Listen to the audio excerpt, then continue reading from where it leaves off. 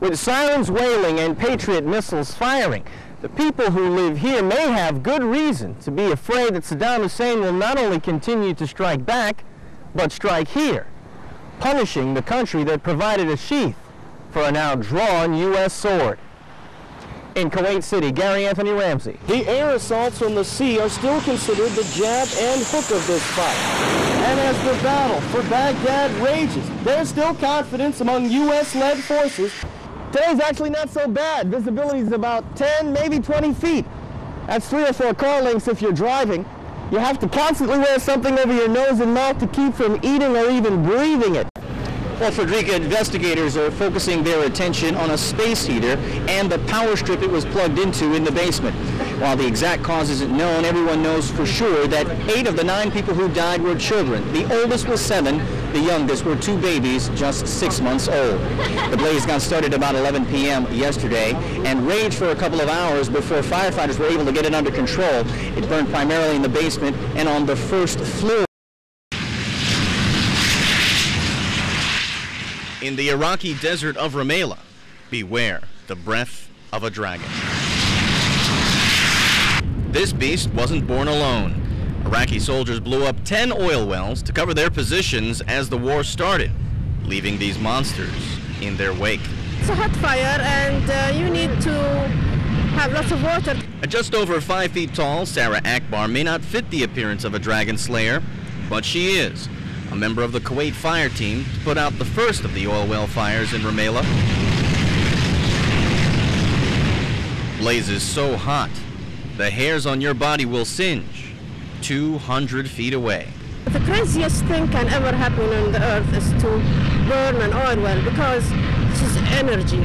Energy that bleeds from Iraq's economy and damages the environment as smoke smudges across the sky.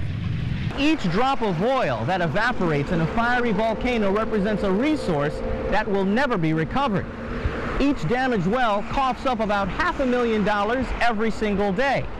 And by Iraqi poverty standards, that's enough to feed more than 70 families for an entire year. How important is fixing them and getting them repaired in a short period of time?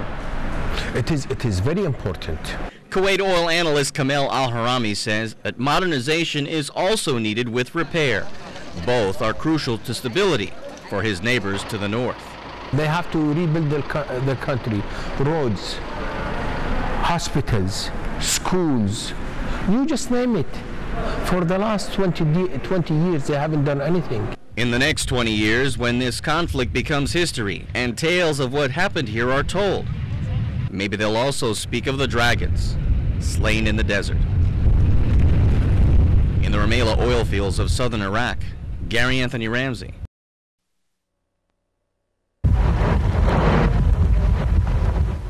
Like the surf to a shoreline comes human suffering to Albania. Wave after wave after wave of Kosovar refugees continue to spill across the border. They run from an ocean of war in their own homeland that runs deep with bitterness and hate. Of course I was afraid, this woman says. The children were crying and they were shooting over our heads. The hardest part was not knowing when they were going to kill us. Half a million people with similar stories made it out of Kosovo alive, but scores did not. And for those who survived after being stripped of most of their legal documents by Serbian authorities, even holding on to your dignity here is tough, especially when you need the free hand to carry food to your family. They live hand to mouth, day to day, never knowing if they'll ever be able to go back across the border and home. The reason? They were born ethnic Albanians. A majority in the province of Kosovo, but a minority in the political system of Yugoslavia.